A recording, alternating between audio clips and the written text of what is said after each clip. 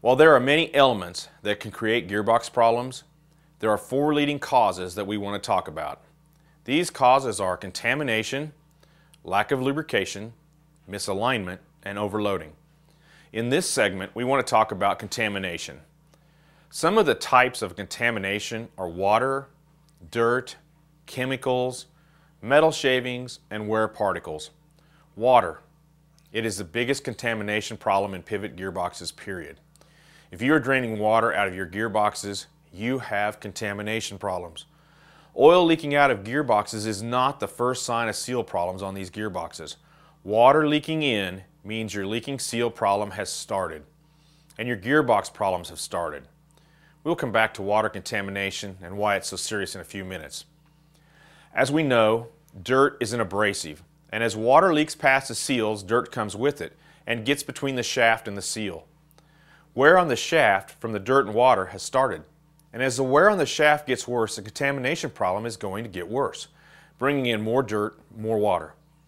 These not only cause wear on the shaft, but also on the bearings and gear teeth.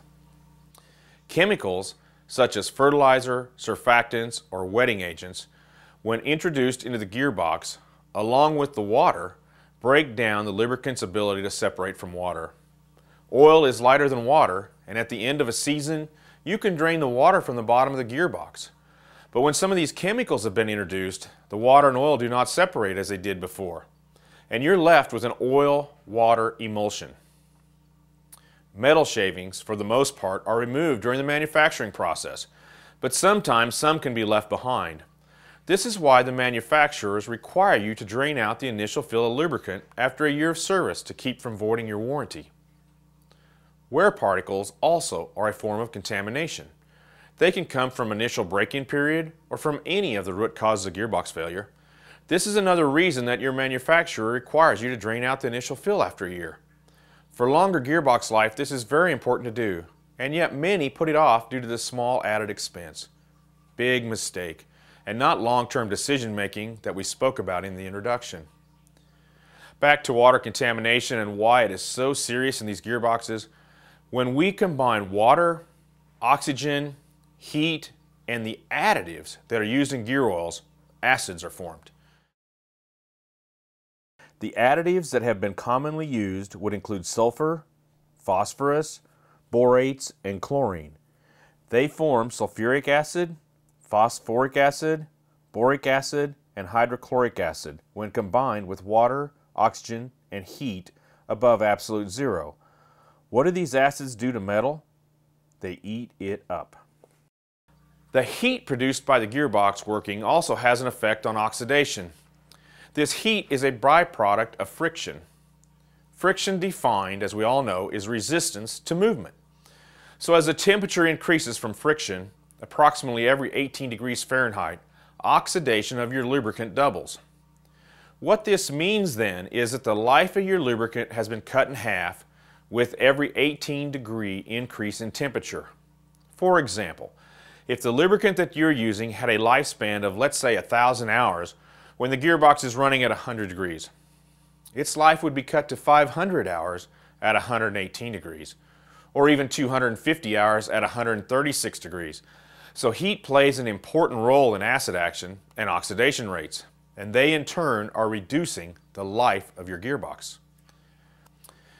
So, to answer the question, why does Sprinkler Lube 1200 work so well? We deal with contamination on every front. In the seal area, Sprinkler Lube 1200 lubricates the rubber and shaft contact area. If the seals or shaft are worn, it comes through the contact area and forms its own seal, creating a barrier against water, dirt, and chemicals, keeping them from entering your gearbox. In dealing with acid action and oxidation, the worst problems from contamination, we have formulated Sprinkler Lube 1200 to resist water. And even if water does get into the gearbox, Sprinkler Lube 1200 has been designed to protect against acid action and oxidation. We cannot eliminate the additives needed to carry loads. They're needed. But eliminating the water and reducing the heat created, we are able to address the chemical process and limit the formation of these acids. Concerning increases in temperature from friction, Sprinkler Lube 1200 is formulated to carry a heavier load than normal gear oils and will reduce temperatures. By carrying these heavier loads and reducing friction, the contamination from wear particles is also greatly reduced. Again, Sprinkler Lube 1200 helps stop the introduction of contaminants in the gearbox, whether they come from the inside of the box or outside. This should be noted, not all contamination comes from the outside of the box. So Sprinkler Lube 1200 reduces acid action, oxidation, heat, and wear, attacking the root problem contamination, stopping the cascading domino effect of symptoms resulting in a long-term fix.